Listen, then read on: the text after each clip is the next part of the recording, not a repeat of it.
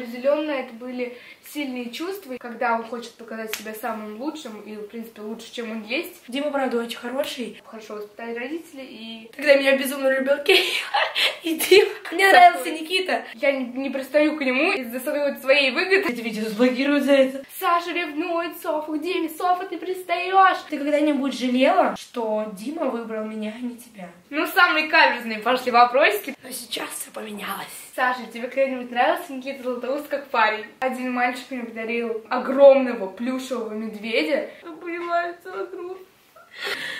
Нет, пожалуйста, мне видно макияж. Я, я же плачу.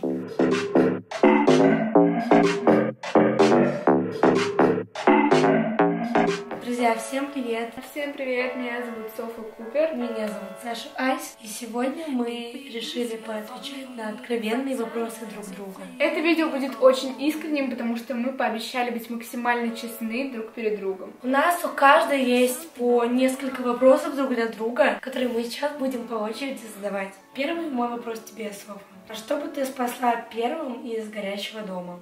Что-то самое ценное. Что для тебя самое ценное? Ценное семья, поэтому главное вообще, чтобы все просто остались живы-здоровы, чтобы все смогли спастись из горящего дома, а второе уже не важно. На самом деле, если такое происходит, вообще в первую очередь надо думать о семье своей, а не о каких-то предметах, да. Но все-таки, если, например, это не люди, а какие-то предметы, вещи. Моя. Ну что, что взять-то, правда? Первое, что мне приходит на ум, это, ну, наверное, взять самое необходимое, это телефон, а, ноутбук. Не потому что такая дорогая вещь финансово. Там очень много материалов наших съемок. Карт памяти я бы взяла, кстати. Еще, я думаю, взяла бы карты памяти, потому что это... Не получилось откровенное интервью. Телефон, ноутбук, карты памяти, потому что это очень ценно для нас, Саши. И вообще блогинг это наше хобби, наша работа и так далее. Теперь мой вопрос, Саша. Какой был лучший се- Какой был самый лучший совет, который тебе давали в жизни когда-либо? Это, кстати, очень интересный вопрос. Я думаю, что Я на устном. Главное сказать заготовочку. Это очень интересный вопрос. Я думаю, что... А потом уже думать. Наверное, два совета. Первое это никогда не сдаваться идти к своей цели, но это очень банально, но это реально годный хороший совет. Еще один совет это, наверное, не слушать мнение окружающих, тех, чье мнение тебе не важно, и не обращать внимания на какие-то глупые или обидные высказывания в твой адрес. Каким достижением ты гордилась, но окружающие не оценили этого. Ну, на самом деле, такое, в принципе, частенько бывает в сфере блогинга. Мы с тобой с этим сталкивались, когда ты стараешься над каким-то видео, много работаешь, вкладываешь туда силы, а в итоге получаешь не то, что хотел, и расстраиваешься. Какое воспоминание чаще всего всплывает в твоей памяти? Такого воспоминания, сказать честно, нет. Я так и знала. Такого воспоминания нет, есть много хороших моментов в жизни. И вообще, моя жизнь прекрасна. Ну, например, я помню момент в жизни, который у меня был, когда я была во втором классе. Я сидела на уроках и ждала, когда мы Москве жили. Я знала, что сегодня мама с папой купят собаку. И это был подарок на мой день рождения, я помню. И я выхожу из школы, сажусь в машину. Лежит вот такой вот маленький алабайчик, он такой милый, такой красивый. Я помню улицу, по которой шла дорожка, я помню все, все, вот все детали этого момента. Если бы ты могла вернуть один день из своего прошлого, что бы это был за день? Когда Саша меня позвала на концерт Рауха и Пайка, я вообще не знала этих исполнителей. Я знала так только некоторые песни. Я тебя позвала. Ну Да, ты очень хотела, чтобы мы туда поехали. Просто ты такая, да, давай, за любую движуху, хотя ты тоже особо не знала. Но у нас были пригласы на их концерт. Я до последнего не соглашалась ехать. И когда мы туда приезжаем, заходим, и я слышу эту песню, э, вспоминаю детство, а, или мосты, «Мосты». или, в общем, какая-то такая душевная Детство, песня. да. Я стою, это такая атмосфера там была. Я стою и думаю, блин, какой кайф, что мы сюда пришли. И в тот момент мне казалось, а, жизнь прекрасна. Я просто, мы насладились этим концертом, поехали домой, но это вот такой вот вечный Хороший дня. вечер, да, я помню. Хотелось бы его вернуть. Еще я бы хотела вернуть те дни, когда мы с ребятами, с нашей концепцией, так скажем, летали в Турцию. Точно, блин, круто. класс. Теперь мой вопрос к Саше. По поводу чего ты последний раз так сильно волновалась, что не могла заснуть? Вчера я просто немного не могла заснуть, просто мы посмотрели кино, которое называется «Воздушный маршал», и я была просто под впечатлением. Фильм на самом деле крутой, посмотрите. Интересный факт. Я не люблю смотреть напряженные фильмы на ночь, потому что я тоже не могу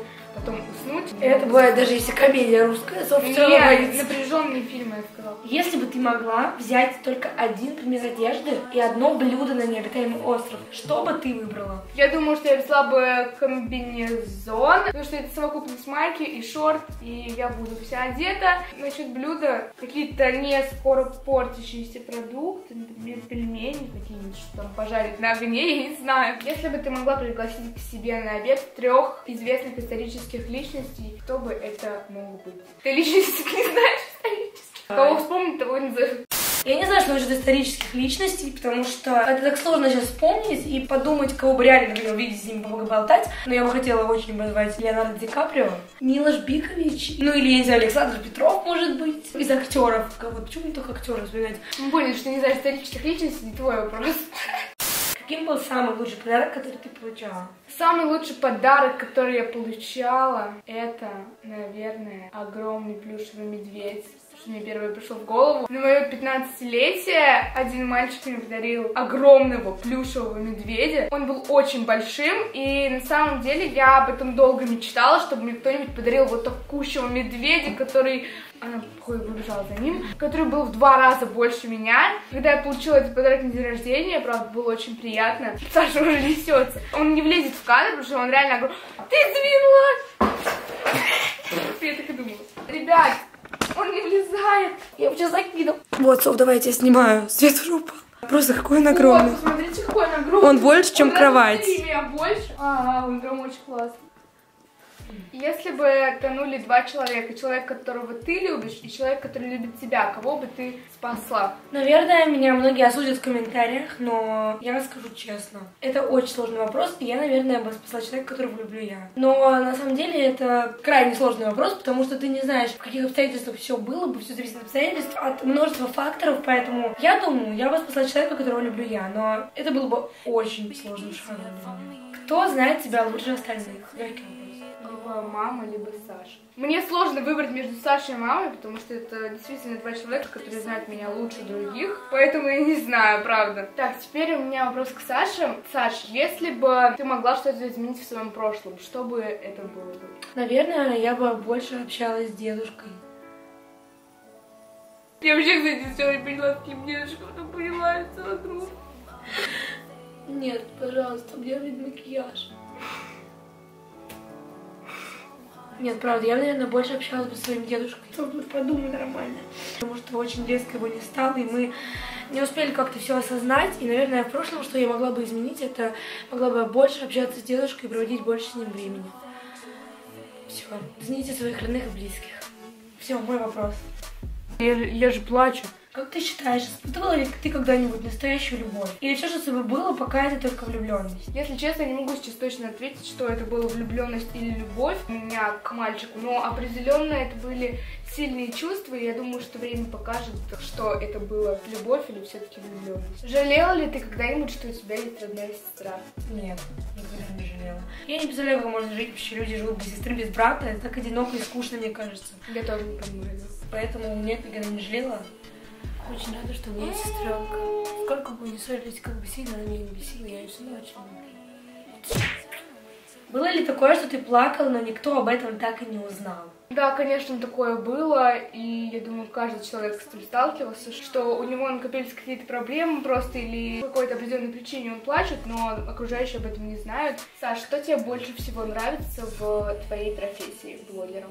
Креативность и творческое мышление, потому что механическую работу, такую как монтаж, я не очень люблю. Я не могу сидеть за ней часами. Ну, точнее, я делаю это, но мне это не особо нравится. Я очень люблю придумывать что-то креативное, смеяться вместе с семьей, потому что мы вместе придумываем. Поэтому у меня крутая работа. Обожаю ее. А, что тебе больше всего нравится в себе? Я думаю, это умение поддержать другого человека, доброта. Вообще сложно себя оценивать со стороны и говорить о своих хороших качествах но сейчас мне это придется сделать. Больше ничего не нравится в себе. И, наверное, ответственность, потому что если... Самое смешно. Возможно, это порядок дома. Которого у меня нет. Саш, скажи, ты бы смогла нарушить закон, чтобы спасти любимого человека? Я думаю, да. Я бы нарушила закон, чтобы спасти любимого человека. Потому что любимый человек мне был бы очень дорог. Если это видео заблокируют за это. Смотря как нарушен закон. Не пошла бы на убийство или какое-то тяжкое преступление, естественно. Какая человеческая черта тебя больше всего раздражает? Наверное, понты. Когда человек хочет показать себя крутым, когда он хочет показать себя самым лучшим, и, в принципе, лучше, чем он есть, когда у него очень высокая самооценка, это не очень круто. Саша, назови три своих слабости. Это то, что я могу долго спать. Каждый раз хочу встать рано, но, блин, я не могу. Я очень тяжело просыпаюсь по утрам. Я очень хочу это исправить в себе. Второе, это то, что я иногда срываюсь на близких людей, потому что просто мне не хватает нервов и сил, и терпения. И третье, это лень. Потому что у каждого человека есть лень, она у меня, конечно, не так сильно выражена, как у многих. Мне хотелось бы быть лучшим вариантом себя, чтобы я не ленилась, ну и не лежала, не отдыхала. Считаешь ли ты себя умной? Железнок, выходи, твой выход. Ну как сказать умный? Нет такого четкого понятия слова ум, потому что ты можешь быть умным в каких-то жизненных вопросах, а можешь быть умным по школе. По школе ты умная? Ну, я не, не считаю себя глупой по школе. А по жизненным вопросам? По жизненным вопросам, возможно, я еще не познала эту жизнь до конца, потому что мне только 15 лет. Но в каких-то вопросах я считаю, да, у меня хорошо воспитали родители и... Я упертый баран. Как ты думаешь, на кого ты больше похожа, на маму или на папу? Никогда не понимала, как девочка может быть похожа на мальчика, на папу. Ну, мне это очень сложно понять, но мне кажется, на маму. Ты когда-нибудь жалела, что Дима выбрал меня, а не тебя?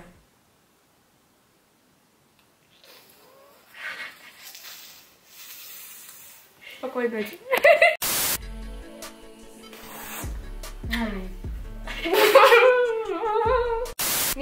Что я рада за Сашу, за сестру. И когда у Саши появился Дима, ее молодой человек, Дима, кстати, очень классный парень. Сейчас я понимаю, насколько они счастливы вместе, блин, и это круто. Возможно, да, возможно, были мысли о том, что, ну, там, Дима прикольный и так далее. И, кстати, насчет всех комментариев, которые вы пишете почти под каждым видео нашим совместным, где мы втроем, что Саша ревнует Софу Диме, Софа, ты пристаешь. Вообще, как так можно? Все бред. Это, на самом деле, да, правда бред, потому что я не, пристаю к нему из-за каких-то своих, из-за своей, своей выгоды, чтобы его там притянуть к себе или как-то, чтобы ему я понравилась. Это вообще полнейший бред, просто мы уже настолько а, сроднились, настолько мы уже близки друг к другу, что мы вообще можем все что угодно делать. И я абсолютно не ревную, и наоборот, это мило, потому что они очень хорошие друзья. И изначально, как я уже где-то говорила, мы все друзья. Безумно можно быть первым. Мы с Димой начали встречаться, не люблю это слово, если честно, спустя полтора года нашего общения совместного в компании. Поэтому как я могу ревновать Софу к Диме? Нет, я не ревную, друзья. Нет, нет! Ну, самые каверзные пошли вопросики. Саша, тебе когда-нибудь нравился Никита Златоуст как парень? Я знала, что это будет. Пока! Саш, ну чё? Никита твой парень, а мы Тима? Ой, Ой, записывай! записывает. Мы были когда на видеопибле, 17 год, да. Тогда меня безумно любил Кирилл и Дима. Мне нравился Никита. Но сейчас все поменялось. Дима One Love. Соф, как ты считаешь, кто из нас красивее? На самом деле никогда не любила такие вопросы, потому что мы абсолютно разные, и это как-то странно нас сравнивать. Я считаю, что каждый по-своему красив. Саша очень красивая девочка. Я тоже. Нет, на самом деле, да, красивее Саша. Саш, ты когда-нибудь думала о том, что Дима это не тот человек, который тебе нужен по жизни? Думала, конечно. Мне кажется, каждую девочку, девушку посещают такие мысли, потому что это даже, вот знаете, как перед э, свадьбой, что-то такое, блин, это тот человек или не тот. Нет, ну, блин, да, конечно. Мне мама даже рассказывала, что она тоже думала много раз, блин, а вот, ну, Андрей, папа, это тот человек, кто ей нужен. Он ли тот единственный? Но я думаю, что и мужчины также думают про девушек. Дима, правда, очень хороший. Я очень рада, что мы вместе. Всем спасибо за просмотр. Это было отличное, откровенное интервью. Софа, спасибо за твои вопросы. Спасибо тебе за твои вопросы. Подписывайтесь на нас в инстаграмах. Подписывайтесь на наши каналы и пишите в комментарии, если вы хотите видеть больше таких вот разговорных, искренних видео на наших каналах. где мы вдвоем, потому что мне лично очень понравилось. Мне тоже. Все, друзья, пока-пока. Пока! Ставь лайк, если заценил наши супер макияжи, которые мы делали два часа.